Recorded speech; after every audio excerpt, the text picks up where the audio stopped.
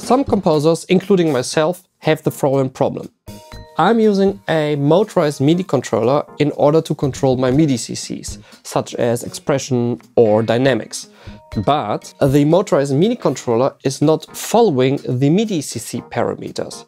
So when you are using this controller as a volume controller, it is following your volume automatization.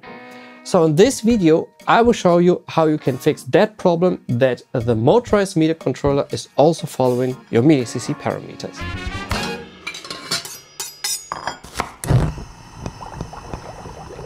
Hi, my name is Dennis. I'm a composer and researcher in music and technology and I always are looking for workflow optimization. So this video is for composers who work in Cubase and have a motorized MIDI fader controller based on the Mackie protocol.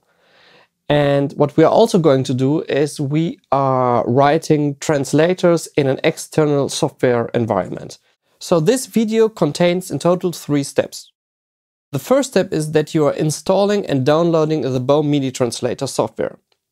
The second step contains the creation of translators within the BOME software.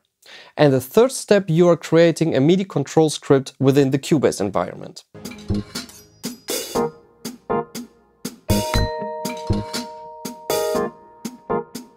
So first you're going to the BOME website and there you can download the BOME MIDI Translator Pro software. Of course, you can also download a trial version, but be aware that the trial version does not include the functionality of Save Your Program translators.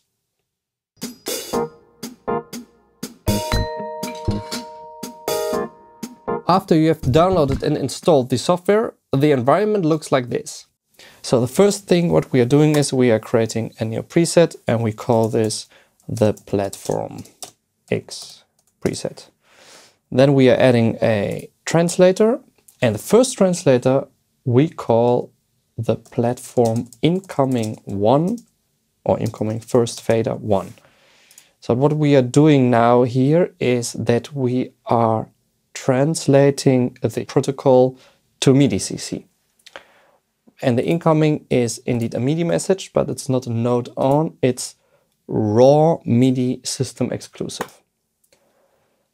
And then what we need to do, you need to type E0 PPQQ. You don't need to swallow the MIDI message. And the information is coming from the, in this case, the platform X controller. And then we are going to out the outgoing message. So in this case, we are sending the information to Cubase. It is also a MIDI message and it's a control change. And the uh, CC would be in this case 102, but you can of course also use another number. In this case, I think it's very safe to use a very high CC number. And the value is uh, here QQ. Uh, we need also to select a MIDI port, so a specific port, and we are choosing BOME MIDI Translator 1 virtual out. Now we are adding a second translator to it. So by adding add translator, and this translator we call it from incoming first fader 2. We need to do this in order to make sure that the fader keeps the position that you want to have. So we need to again, as the incoming information is again a raw MIDI, it is indeed again E0 PPQQ. We don't need to swell the MIDI. Specific port, we're receiving it from the platform. And the outgoing is a MIDI message.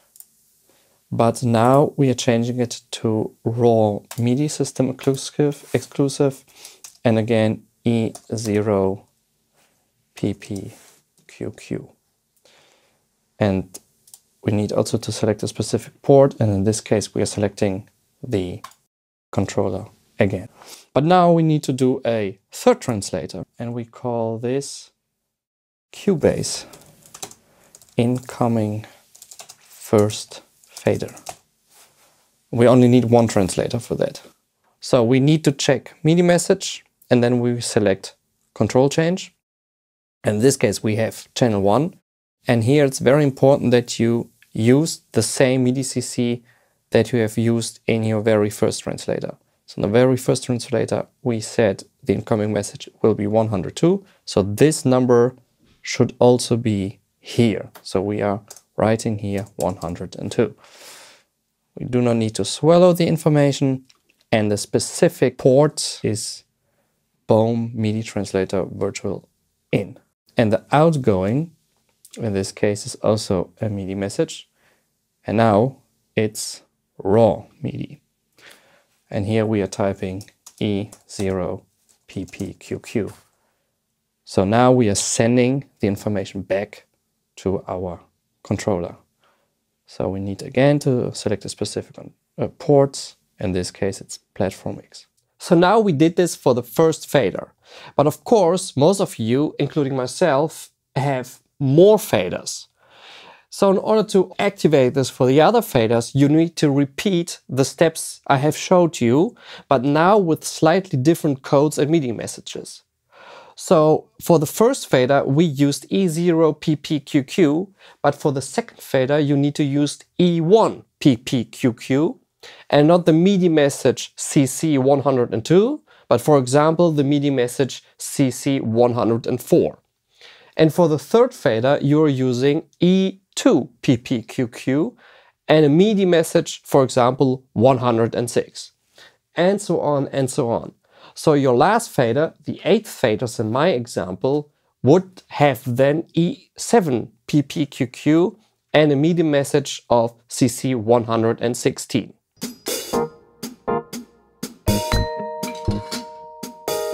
We are going back to Cubase. So you're clicking on no MIDI controller connected. In this case, we are using icon and we are entering the model. I would call it X1 the input port is BOME MIDI Translator 1 and the output port is BOME MIDI Translator 1. So this is very important. So don't select your controller, select BOME MIDI Translator 1. Now we create the MIDI surface. And now what we're doing here, we're creating eight faders. We have here our first fader, right? Make it a bit bigger. And then we have a second fader, And repeat this for eight faders. And these controllers obviously represent now our eight faders on our controller. So you're going now here to fader properties and you see message. And we are now controlling our first controller and you directly see it is control change 102. That's absolutely correct. So I will add this and this looks very good. Now we're going to our second controller and we are moving our second fader, this 104. And again, repeat this for eight faders. Now we're going to Mapping Assistant. Here we link these faders to the quick controls. So now we are selecting our first fader and this first fader will be quick control 1. The second is quick control 2, the third is quick control 3, fourth, fifth, sixth, seventh, eighth. And now it's very important that here you see mapping configuration and it says value mode is scaled, but we need to jump. So we need to change everything to jump. All the MIDI controllers. Right.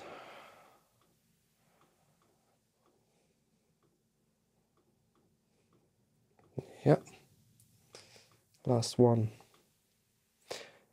And now it's done. So now what we can do is we add, for example, Retrologue and you directly see what's happening on the controller. So he's now directly using this information from the quick controls and representing it also here on the controller. So the first one is the filter cutoff. So now I can, of course, control the filter cutoff here, like this. But what I also can do is I can control the filter cutoff here. And now you see that I'm moving also the fader.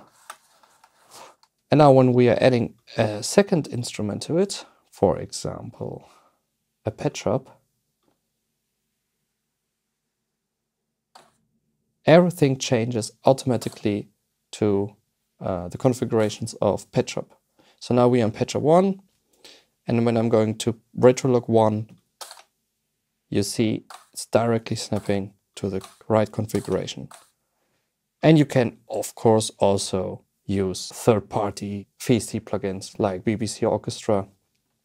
And now here you see that the first one is uh, the expression, the second one is the dynamics, the third one is reverb. So that's it. I hope that you have learned something from this video. And if you have any questions or comments, please leave a comment in the comment section of the video. Thank you very much.